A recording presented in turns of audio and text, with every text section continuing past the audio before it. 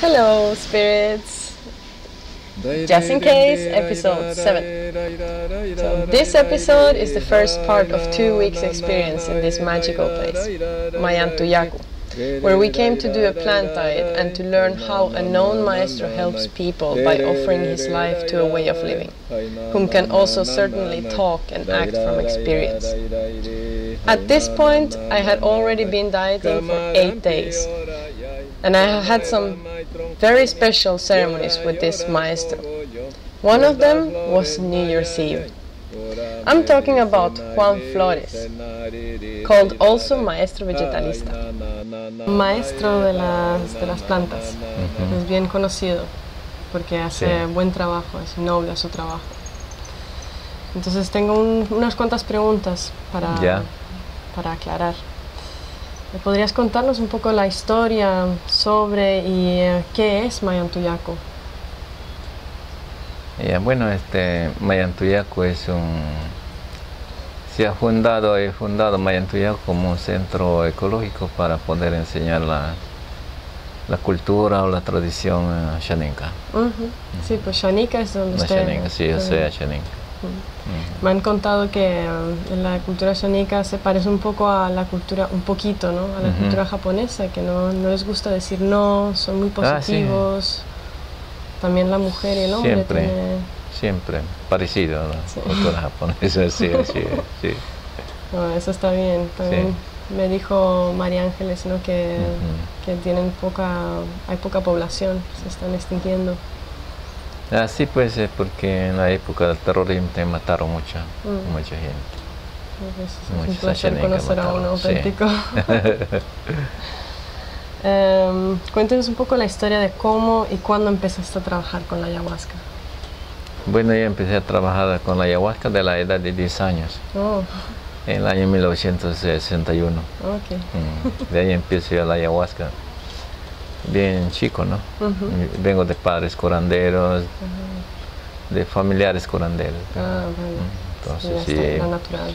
me decidí a aprender eh, con bastante ganas. Para, sí. Claro, estaba ahí, quería ser como sus papás, Sí. ¿usted? Yo quería ser siempre con mi papá buen curandero. Ah, ok. Sí, pues mi papá era buen curandero. Oh. Y entonces yo nací y dije, bueno, voy a ser con mi padre buen curandero. Em, ¿a, eh, ¿A qué edad supo cuál era su misión en esta vida? A la edad de 15 años, yo cuando tenía 15 años ya era curandero ya. Ah, Empezaba sí. a curar de chiquitos y de ahí de grandes, ya, adultos. Ah, Wow, con Muy 15 joven era años. yo curandero. y toda una vida le he pasado de curandero ¿no? hasta ahora. No, tenía que ser raro, ¿no? Ser uno de sus Sí. pacientes, un niño de 15 años que lo esté Sí. curando. Ah, sí. Em, ¿Cómo crees que le cambió como persona al haber tomado ayahuasca comparado como si no lo hubiera hecho?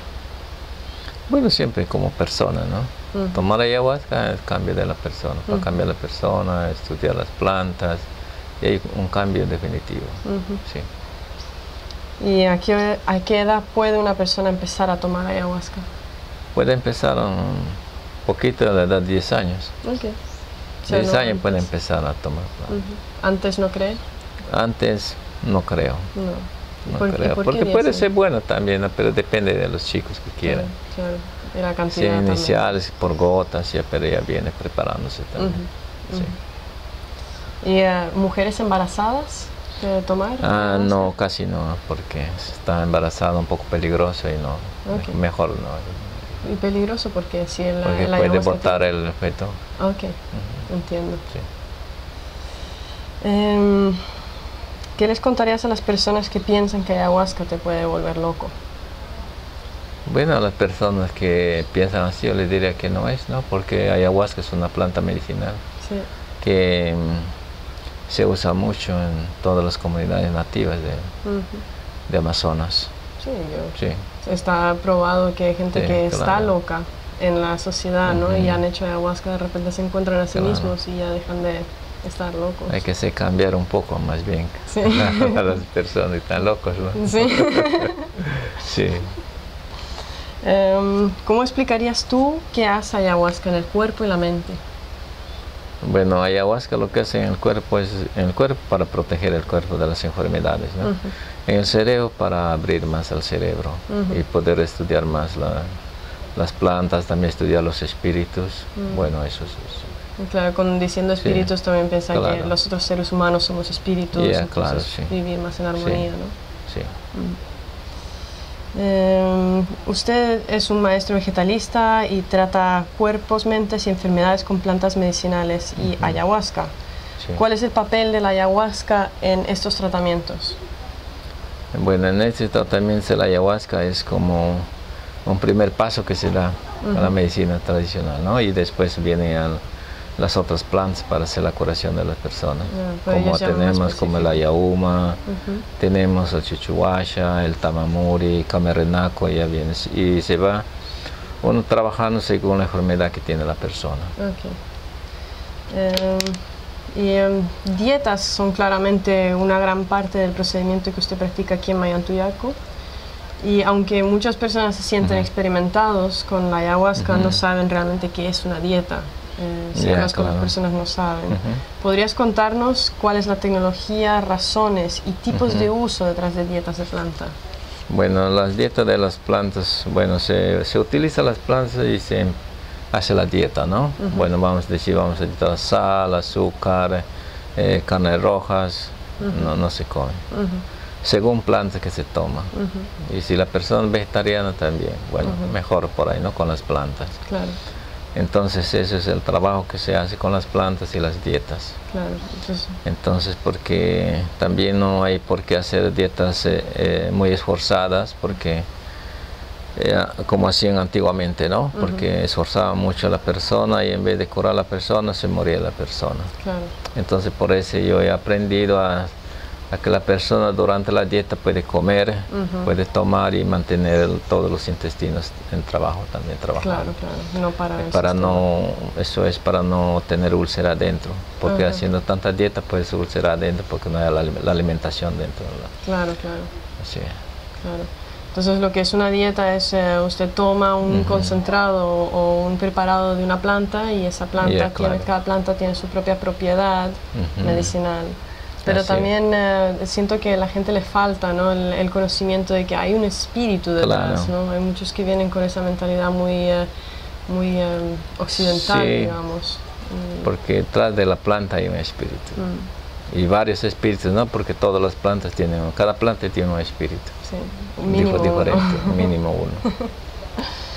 ¿Y em, cuál es su visión y conocimiento de la raíz o núcleo de una enfermedad? ¿Qué es una enfermedad para usted? Bueno, para mí es una enfermedad por... eh, llega la enfermedad al cuerpo por falta de la preparación, de que la persona no toma plantas. Mm, Entonces, cuando una persona no toma planta, entonces la enfermedad se eh, produce más eh, dentro del cuerpo, ¿no? Entonces, de ahí empieza la enfermedad.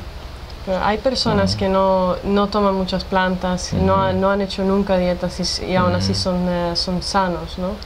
Pero después Ah, hay otros muchos que no, que, que no son sanos. Claro, Es que, ¿Cuál es la pero- diferencia de...? de- Pero la mayor parte son enfermos. sí. La mayor parte son enfermos. Aunque no lo sepan, ¿no? Yo, yo entro en consultas muy diferentes y encuentro partes siempre Ujú, enfermas, ¿no? Las personas, pero por falta, para mí por falta que no, no toman las plantas como Claro. que necesita el cuerpo, ¿no? Sí. Protección, pero el cuerpo necesita protección. Necesita protegerse del frío para que no entren los dolores, el reumatismo, la artritis dentro del cuerpo. claro. Y ahora más se necesita proteger el cuerpo para, contra el cáncer, contra el SIDA y otras enfermedades más que están viniendo. Y Todas estas enfermedades se pueden curar. Necesitamos protección del cuerpo con las plantas. sí. Y todas estas plantas, todas estas enfermedades se pueden curar. Se pueden curar con las plantas. sí. Em, a ver, eh, ¿cómo ve usted que debe ser dado a cada paciente? ¿Cómo? La dosificación, ¿no? Eso, ¿El cómo?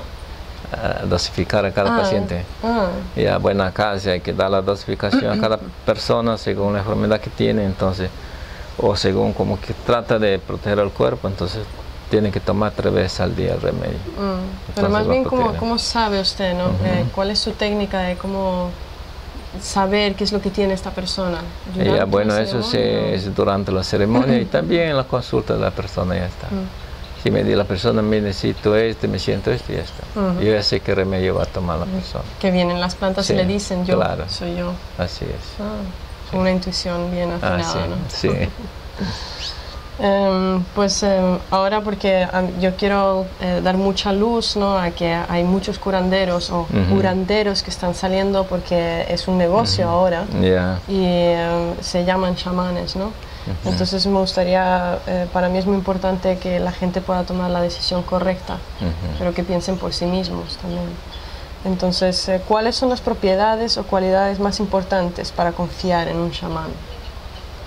Bueno, para confiar más en un chamán tiene que tener los años de conocimiento. Mm. Cuanto más años tiene de conocimiento un curandero que le llamamos acá, entonces eh, porque sabe.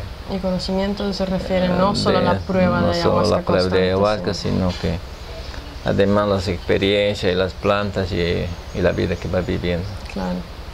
Porque hay muchos que se dedican solamente a la ayahuasca y piensan que así lo aprenden todo, pero no. tienen esa base. Porque las plantas es uno, ¿no? Y las plantas hay que llevar con el estudio. Claro. Entonces para poder también este, conversar con otras personas que y responder algunas preguntas, porque si un curandero estudia solamente de plantas, entonces si, le hacen una pregunta eh, especial no va a poder responder, porque no tiene estudios. Eso lo tengo bien claro. ¿Qué daño puede hacer estar en las manos equivocadas? Ah, te puede, bueno, como se escucha, siempre hay... Eh, puede morir una persona también, porque eh, el que convida no, no, está preparado para hacer eso. El curandero no está bien preparado en la dosificación, porque en la dosificación es todo. Saber dosificar cuánto le vas a dar a la persona o cómo es esa persona, entonces uno se, hace la dosificación. Y de acuerdo al cuerpo de la persona es que se hace la dosificación de la medicina. Yo soy de creencia de que muchas de las enfermedades empiezan en la cabeza. Y que uno de los peligros más grandes de hacer con las personas equivocadas es que la oscuridad trabaja en la cabeza. claro, Entonces al final te acabas eh, enfermando porque hiciste una ceremonia donde hay energías negativas, donde tomaste de repente la, medicina que preparó una persona que no está preparada con la genuidad, con la, eh, la bondadez, ¿no? Con la humildad de se quiere curar y, eh, de repente tú tienes esos, demonios que esa persona pueda tener, digamos, demonios o entidades. Entonces... Bueno, más que todo el curanderismo viene de arriba, ¿no? Mm. porque se trabaja todo con lo divino. Mm. Entonces si uno trabaja con Dios y con todos los espíritus que hay, espíritus buenos, entonces toda la medicina va y las curaciones van a ir bien. Pero si ya estás en otro lado oscuro, entonces ya no está bien. ¿Y qué deberían hacer si han eh, topado a alguien Entonces, tuvieran que cambiar a otro, de, otro Lo más rápido posible. Lo más rápido posible para poder encontrar el camino. Mm. Porque la ayahuasca es buena para limpiar. La ayahuasca es buena para limpiar. sí. Bueno, pues eh, ya terminando, eh, son dos preguntas que me, que me gusta mucho hacer a, todo el mundo, ¿no? ¿Cuál es el mejor consejo que le hayan dado a usted? ¿A mí? Sí. Bueno, a mí a lo largo de su vida. siempre me, me han dado el consejo de seguir estudiando, de seguir adelante y haciendo bien a la humanidad. Mm. Entonces yo estoy con esa idea. Entonces ese sería el mejor consejo que se daría a sí mismo ahora así también. Es, sí. Es un buen consejo. Sí. Eh, ¿Podría dar algún consejo a los buscadores de espiritualidad, liberación y curación? ¿Algo en particular para ellos? Bueno, yo pudiera dar el consejo de que, bueno, siempre busquen eh, dónde está la luz, ¿no? Dónde está la luz, que se orienten bien a dónde van lugar, a cuál lugar van a ir, para que puedan tener buena buena concentración y puedan seguir también estudiando bien, de los que desean estudiar y también aprender cómo es el manejo de las plantas. Bueno, pues uh, muchas gracias Juan. Y de mi parte muchas gracias también por la entrevista. por todo. Muy bien.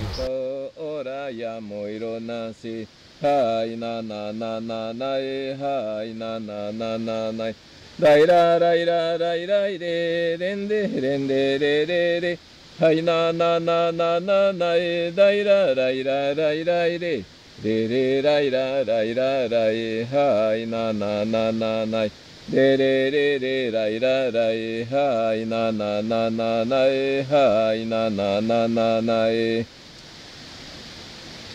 せなレれライラライセナレレライラライ na na na e dai ra rai ra rai rai re. Re re rai ra rai ra rai hai na na na na na. Re re re re rai ra rai hai na na na na na e hai na na na na na e. Se na re re rai ra rai se na re re rai ra rai. Medicina ora ya e hora ya mo ya mo ini. Kamarampi ora ya e ora ya mo maya ya maya re mo kaya ya e se na re re rai ra rai. Hai na na na na na na e rende rende re re re.